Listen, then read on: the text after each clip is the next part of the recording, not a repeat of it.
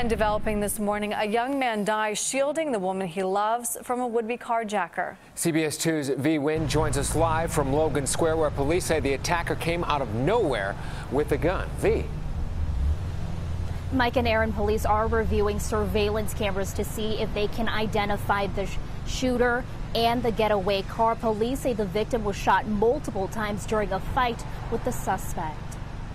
Chicago police returned to the crime scene to continue their investigation to find the person who shot and killed Alexis Andrade. Daniela Roca is his girlfriend's sister. He was amazing. He was great. He was sweet, nice.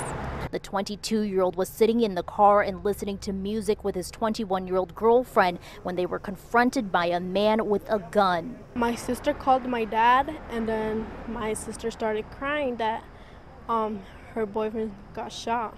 The attempted carjacking happened late Sunday night near Barry and Allen, right across the street from his girlfriend's house. My sister's boy, boyfriend didn't give it to her, him. And then um, he stepped out, and then they started.